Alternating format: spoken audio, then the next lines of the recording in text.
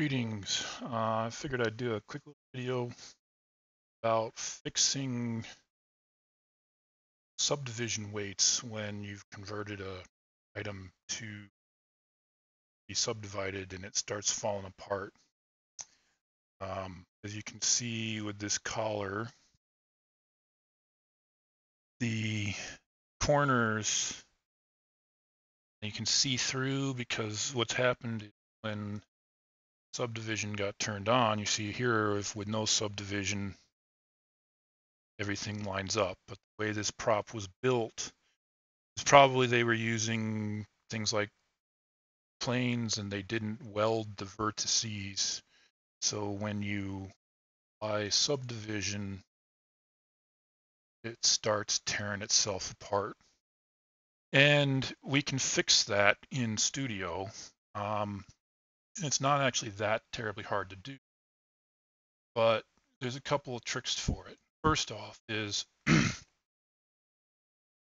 the object at its default size and the way that Studio works when you're um, with it starting to, as you see, as I zoom in, it starts trying to hide the stuff and show through, right? Um, that makes it difficult to do precise um, selection, right? So one of the first tricks here is we're going to go and we're going to change the scale like 20, 200, uh, 20,000. Now, this whole lot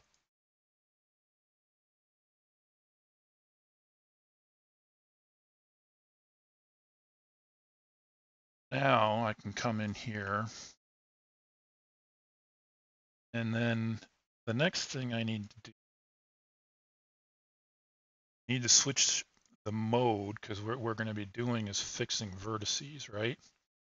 So I'm going to say that my type, sorry, my type is vertices selection.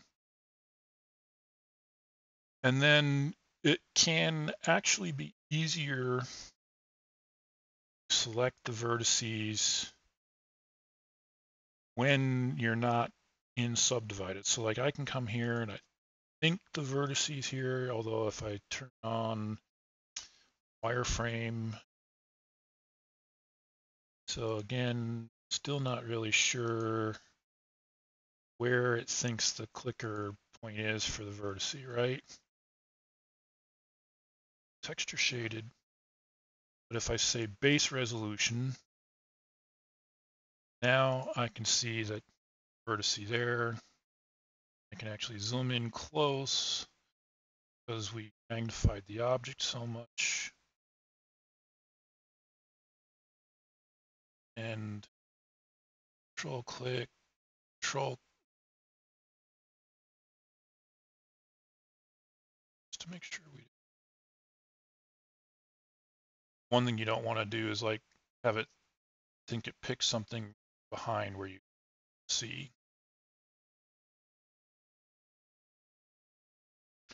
So now I've just selected these three vertices. I'm going to do subdivision weight, set subdivision weight. And you note that by default, everything has a subdivision weight of zero. 10 is the max. So now if I go back and I say high resolution,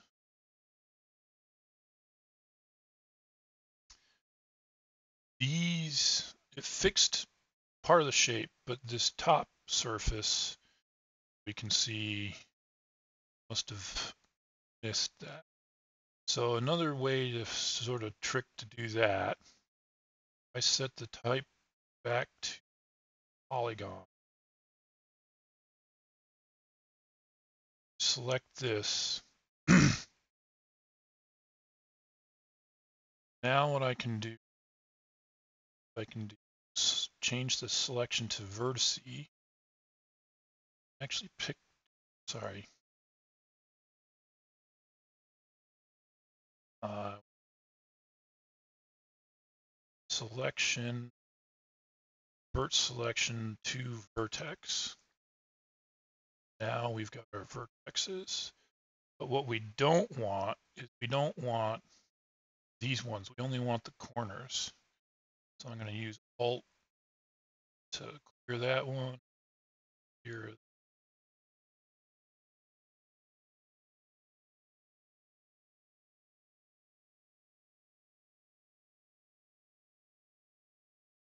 or maybe it'll be easier. Put a mode key. Now I've cleared that. So now what I've got is I still have the original three that I had manually selected, but now I've got these other two. So I can say subdivision weight set, and I'm setting it to 10. Now you can see that that piece corners are now where they're supposed to be, but yet it can still change this to wireframe. It's a little hard to tell because you see through it now, but um, the rest of that particular shape um, is allowed to have subdivision do its thing on it.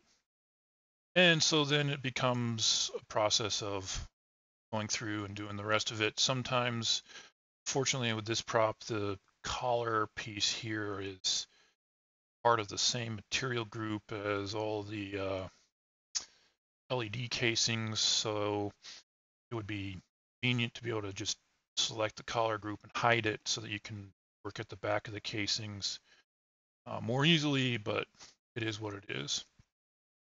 And I will not bore you having me go through and fix all of these.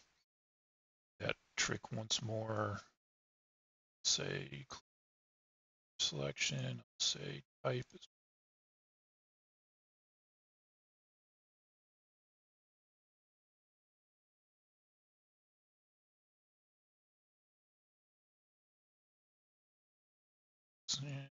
um, sometimes it doesn't work because I'm in market.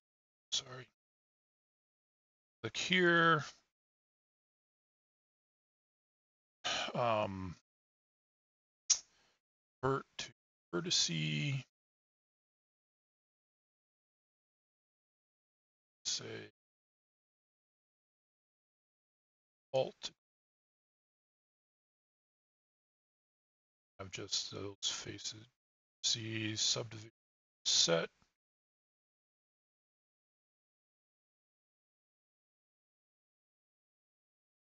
And actually looks like square again, but we've got subdivided pieces. So I will keep it short with that.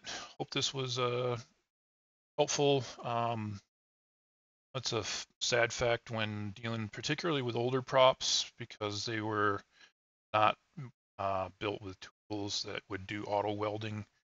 Um, and if you're trying to subdivide a face because uh, extra resolution for some of the more modern renderers, uh, have to then fix weights to prevent them from tearing themselves apart.